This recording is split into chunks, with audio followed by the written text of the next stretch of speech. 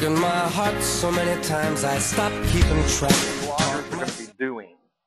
Yeah, well, that well, we're So- just you know, for us on TV Tuesdays live from there, we're gonna just you know, we're gonna go live just prior to the dinner, Mhm. and uh, we'll have uh, we'll you'll have some guests on.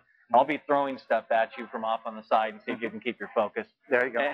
And then, uh, uh, but then on Wednesday we're actually doing a panel Right. where we're going to talk about how social media uh, can really reduce your far- carbon footprint.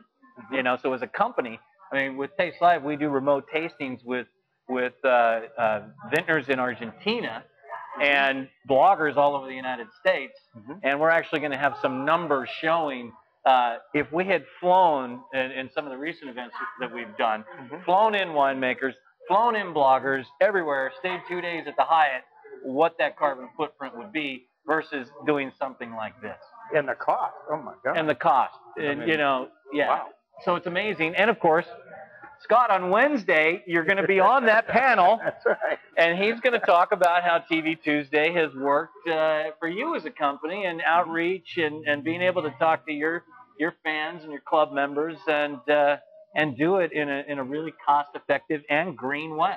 Yeah, yeah, because it's it's pretty basic. We do the same thing, you know.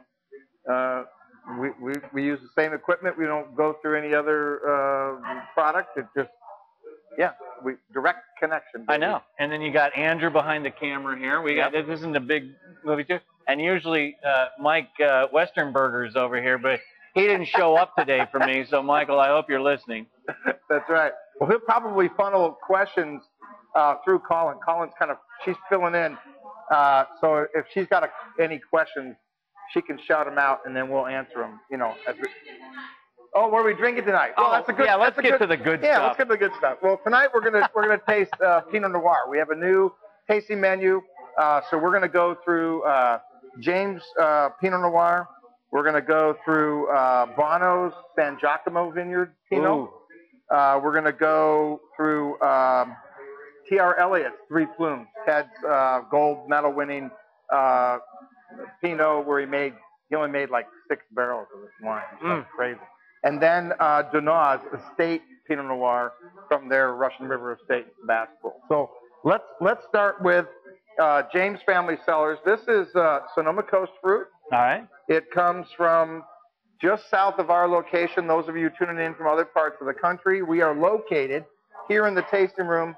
We're located about 55 miles north of the Golden Gate Bridge along the 101 corridor, and about six miles south of our location off the 101 is a, is a vineyard that hangs right on the side of the freeway. Well, that's Gallows property, and right behind that is James's property. Ah. And so that's Sonoma Coast fruit.